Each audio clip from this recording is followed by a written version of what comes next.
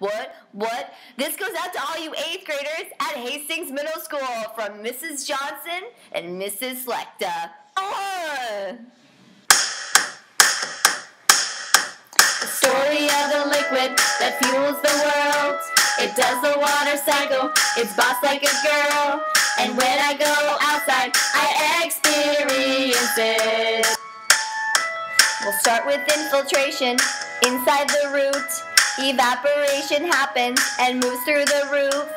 Never thought that one day I would sing to you. In the water's life, the ultimate liquid, useful to all living things unless it's polluted.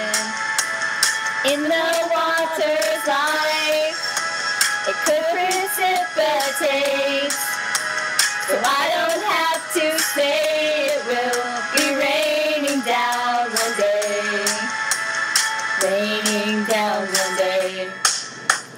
Condensation occurs and that forms a cloud. Remember this for always and you'll make me proud. Surface water collects, it could turn to runoff.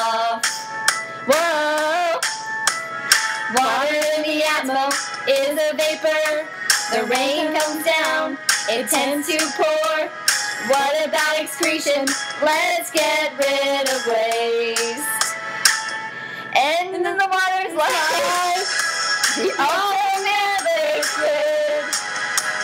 Useful to all living things unless it's polluted.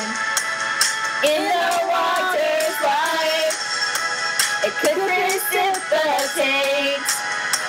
So I don't have to say it will be raining down one day.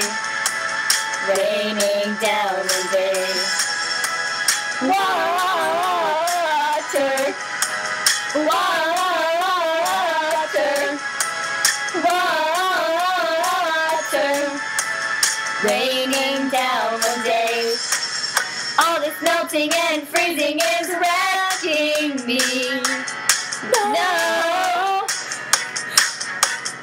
Conservation of all things. No. Find fresh water in an estuary. Whoa. I love H2O.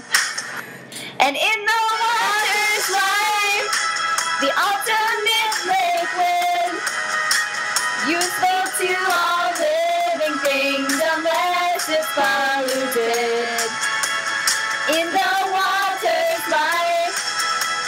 Could precipitate.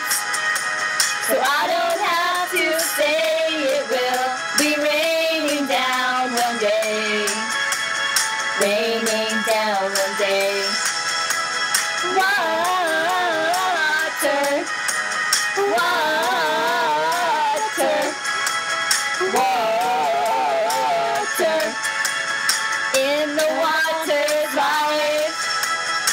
Could precipitate. So I don't have to say it will be raining down one day. Raining down one day. Whoa. Wow. Sound hilarious. Oh my. Seriously?